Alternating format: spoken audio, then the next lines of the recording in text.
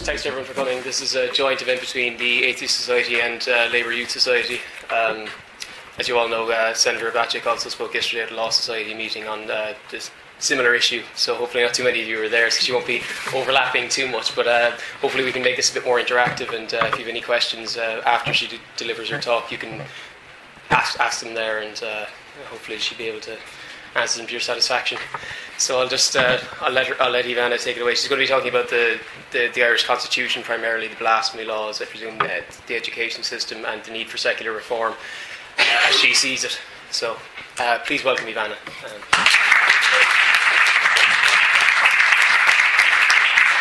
Um, thanks very much, Adam, and thanks to Atheist, the Atheist Society and to Labour Youth here, and congratulations to Keith, who's now your incoming UCC president. And uh, I was helping him celebrate a little last night. So, um, delighted to be here and to speak about. I was going to focus, in fact, on the blasphemy law, but I don't want to speak for very long because, as Adam has said, I'd much prefer this to be an interactive um, discussion group, discussion um, event, because I sort of did the lecture last night. So I'm going to focus on the blasphemy law, just talk a little bit about the change that came in last summer, and then if you want, we can t- we can, you know, depending on what people want, we can talk about education, we can talk about God and the Constitution, which was the main focus last night. We can talk about any other issues, and uh, also thanks to Barry who organised last night's Law Soc event. And the other uh, point to make is, of course, congratulations to the Atheist Society for, for winning Best New Society. best, I think, and yeah. best website as well. And best website. that, That's that very. That's very good. That's very impressive.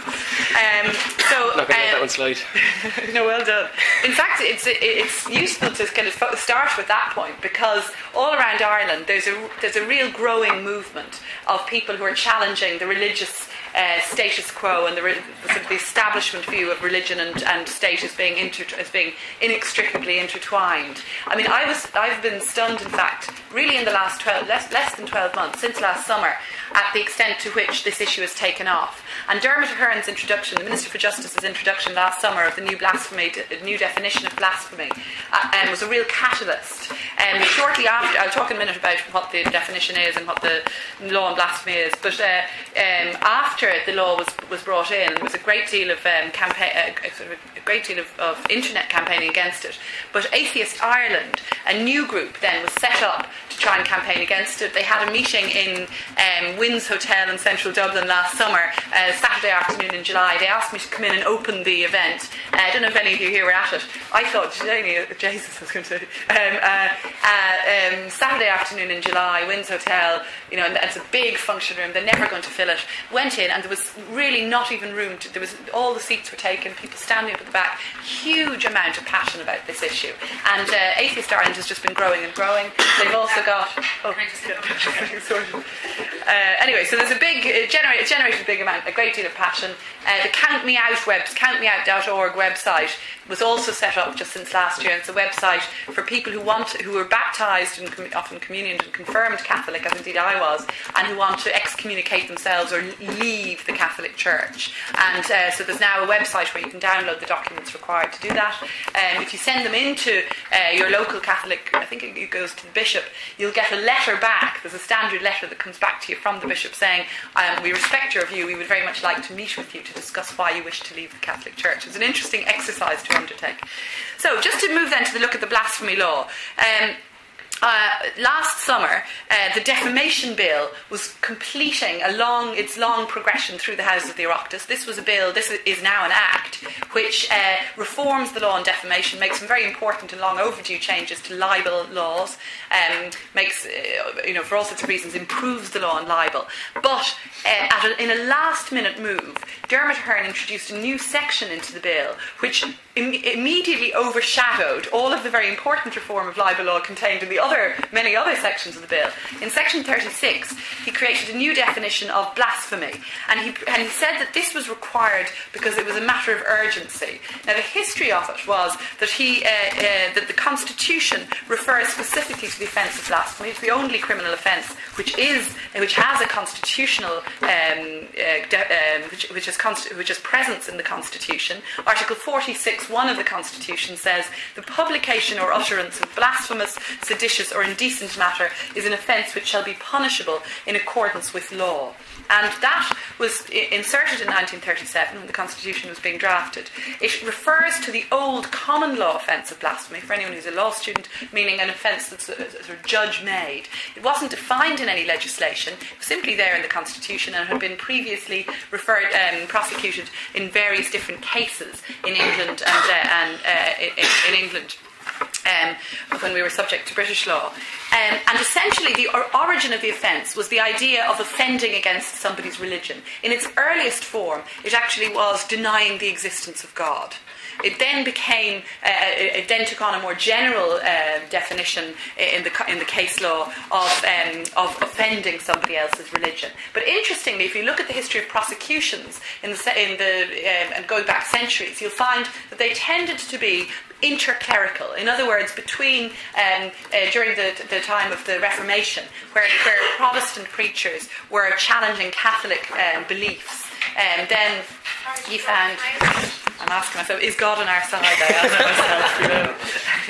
The answer is she isn't, of course. In, uh, but anyway, the uh, the um, the definition was, was was was I suppose changed through the case law, but it generally tended to be used against against preachers of other religions who had um, criticised or um, or challenged some aspect of the of the majority religion, and that's the history of the blasphemy of blasphemy law. But it was very rarely prosecuted in practice. I think the last prosecution was 19th century. Um, when, the cost, when the Constitution was, and it, so the offence had really fallen into disuse by the time the Constitution was drafted, yet De Valera kept it in the Constitution. And it's one of the examples I always give in terms of the influence of religion, and in particular of Catholic doctrine in our Constitution. We see quite a range of different examples of this, and the existence of a, of a reference to blasphemy offence is one of them. Um, but despite the provision of the Constitution, no prosecutions were taken for blasphemy until the 1990s. And during the 1995 divorce referendum, an individual called Corway sought to introduce, uh, John Corway, um, sought to take a prosecution, a private prosecution, against independent newspapers. I don't know, if some of you may remember, but was, there was a cartoon published in the Sunday Independent newspaper during the divorce referendum. At the time, the anti divorce campaigners had big billboards up saying, Hello, divorce, bye bye, daddy, to try and scare people against voting in divorce. And of course, the divorce referendum was passed by a very small majority in 95. This was the second divorce referendum. But Hello, divorce, bye bye, daddy was seen as a very effective scaremongering poster. The satirical cartoon published in the Sunday Independent, at which John Corway took offence, was a cartoon showing three pro divorce politicians uh, de Rossa, um, I think it was Ruairí Quinn, and and who was the third? Was John Bruton? Yeah, yeah. Uh, the, three, the three politicians um, waving goodbye to a Catholic priest who was trying to offer them communion, and the caption was "Hello, progress, bye bye, Father." And John Corway argued. John Corway argued that this was um, th- this was a gross insult to the Holy Sacrament of uh, the sacrament, sacrament of Holy Communion. As a practicing Catholic, he, he took offence at this, and he sought to prosecute independent newspapers.